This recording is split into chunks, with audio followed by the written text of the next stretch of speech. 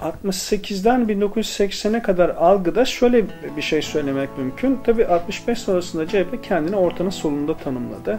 Türkiye'de sol çok da iyi karşılanan bir kavram değil. Bugün hala hani e, bugünün Türkiye'sinde bile bunun hani çok olumlu karşılandığını çok da söylemek mümkün değil. Türkiye seçmeninin %70'e yakını sağ tandansız seçmen. Yani CHP seçmeninin solda tanımlanabilecek seçmenin %30'u geçmediği de düşünecek olunursa 1960 sonrasında CHP kendisini ortanın solunda tanımladığı an e, sol kavramına ülkede meşruiyet kazandırdığını söylemek lazım. Hele bunu söyleyenin de İnönü olması. Tabi İsmet İnönü'nün yani milli mücadele kahramanı gibi birinin e, ta böyle bir tarihi şahsiyetin CHP'yi solda tanımlaması, ortanın solunda tanımlaması e, Türkiye'de solun meşrulaşmasının kapısını açtığını söylemek lazım.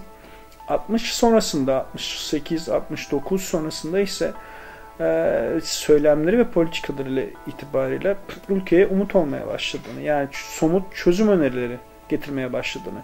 Örneğin 1968'de işte e, bu e, Ecevit'in bu düzen değişmelidir söylemleri çerçevesinde dile getirdiği, toprak işlerinin, su kullananın söylemlerinin gündeme gelişi ve insanca bir düzen kurmak için e, halktan yetki istiyoruz. 69 seçim beyannamesi, 73 seçim beyannamesinin ak günleri adını taşıması ve hakça bir düzen kurma vaadi.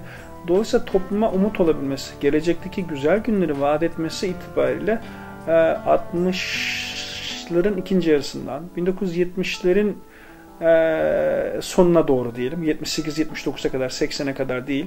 Ama toplum için umut olduğunu söylemek gerekiyor. Bunun CHP'nin 70'li yıllardaki seçim şarkılarında bile hani görmek mümkün. 1970'te 77'de kullandığı seçim şarkılarına bakacak olursanız mesela Şenay'ın e, Hayat Bayram olsa ki bu seçimlerde de kullandılar bunu. 1970'li yıllarda kullanmışlardı. Yine Şenay'ın Sev Kardeşim kullanılan şarkılarından bir tanesidir. Ali Rıza Binboğa'nın Yarınlar Bizim.